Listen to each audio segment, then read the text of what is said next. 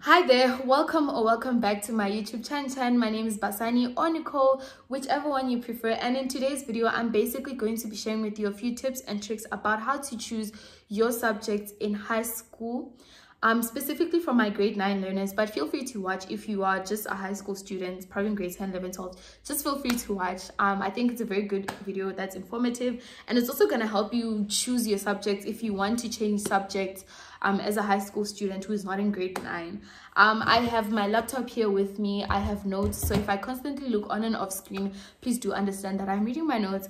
And i have a bottle of water because talking can be exhausting. So i need to drink to get hydration so without further ado, let me get straight into this video.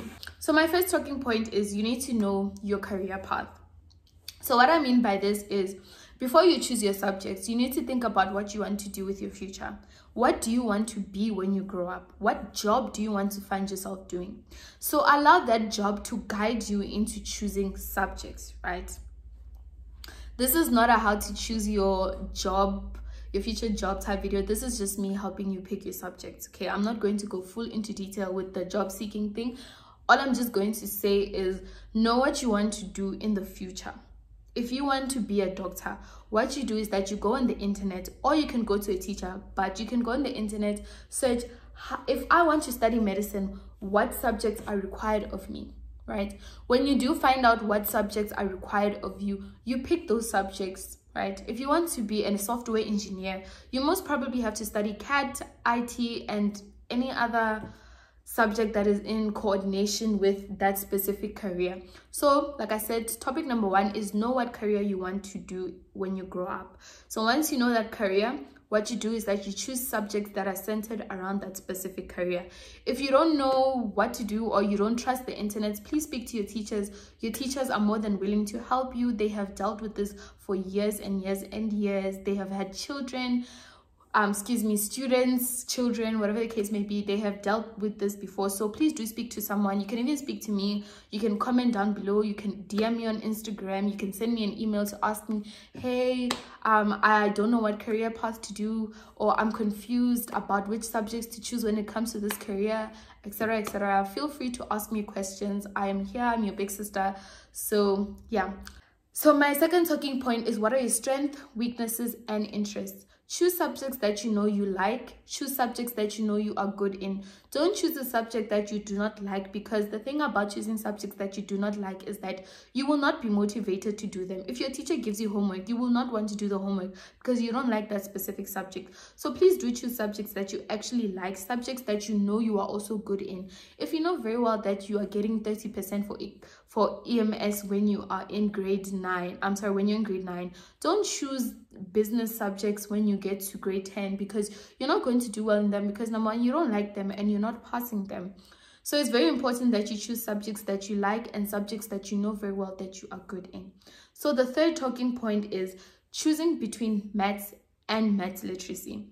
So with this one, it's a very tricky situation because a lot of students choose pure maths in the beginning of their grades 10 and then by the end of grade 12 everybody's doing maths lit and only a certain number of people are doing pure maths. Um this has happened a lot in many cases in many situations. It has even happened to me. I have found myself um choosing pure maths when i was in high school grade 9 and then i ended up finishing matric with i finished matric with maths literacy. Um yeah.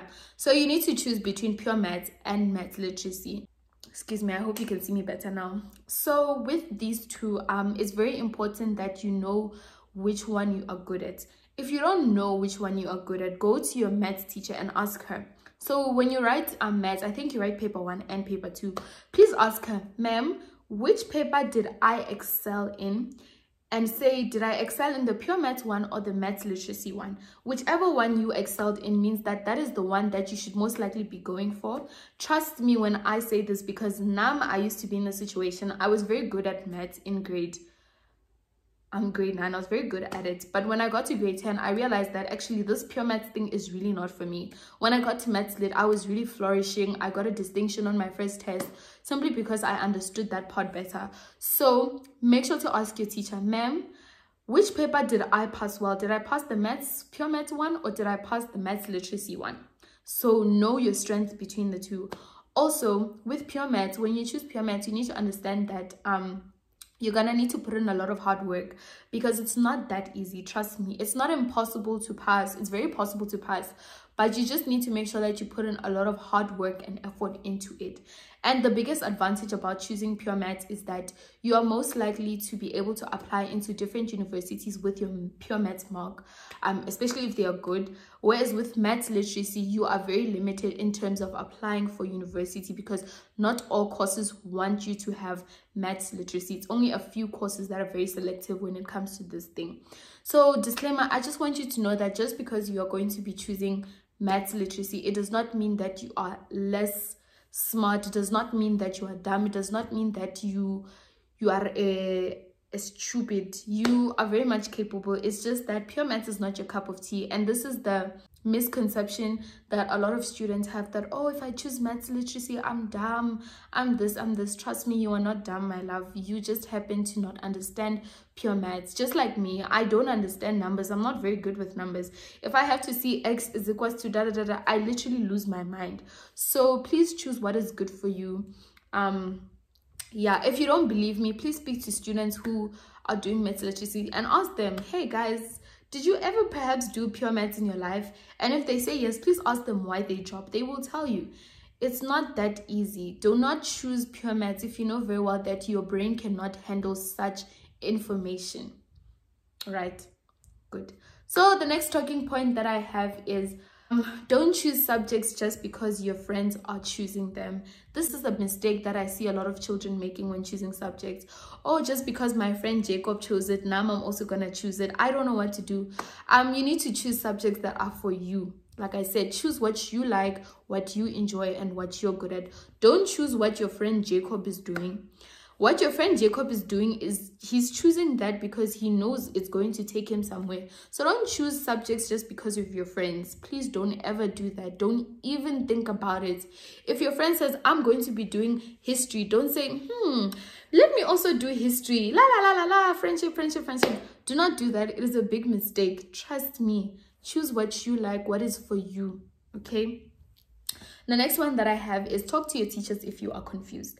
Like I said in the beginning, your teachers have dealt with this for a very long time. They've had students come in and out of school. They have students who they've taught. They have they have they've dealt with this. So if you're confused, it's okay. Speak to your teachers and ask them about subject choices. Speak to them about what you like and what they would recommend based on what you like, right?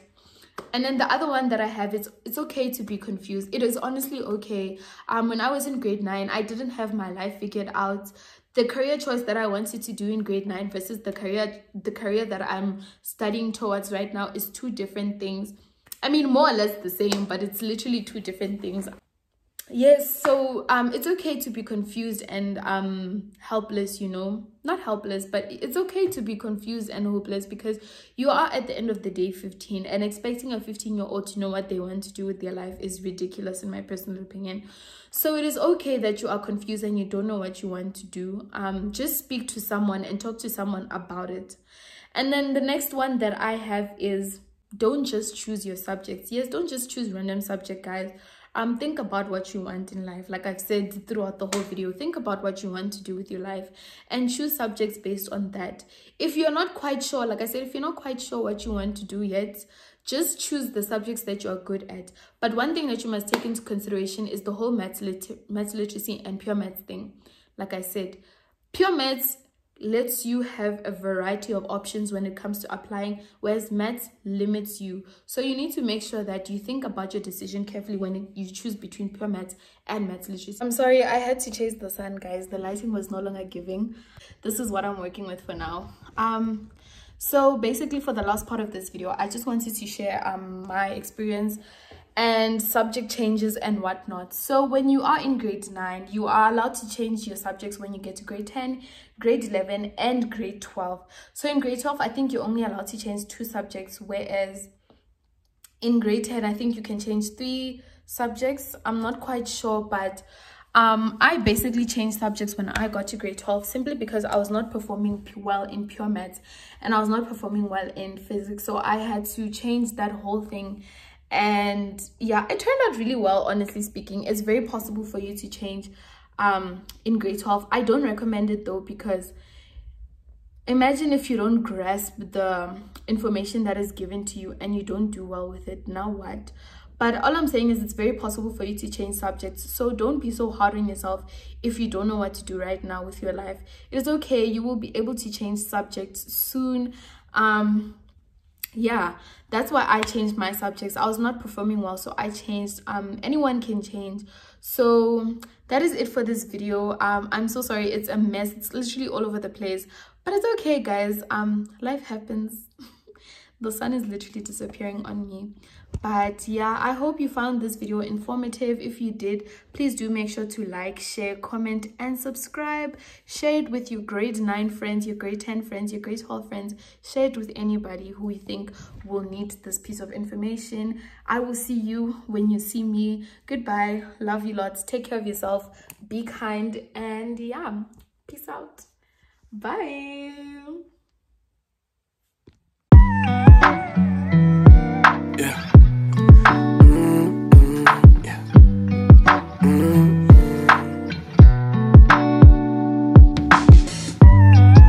been trying to stay afloat. I've been falling every time I try to grow. I don't know. Yeah, yeah. I should keep it on the low, or if it's better trying to get up on my toes. Yeah. I'm just trying to see the light that's on the other side of the tunnel. Yeah, yeah. I just wanna see the prize, but when I open eyes, seeing nothing.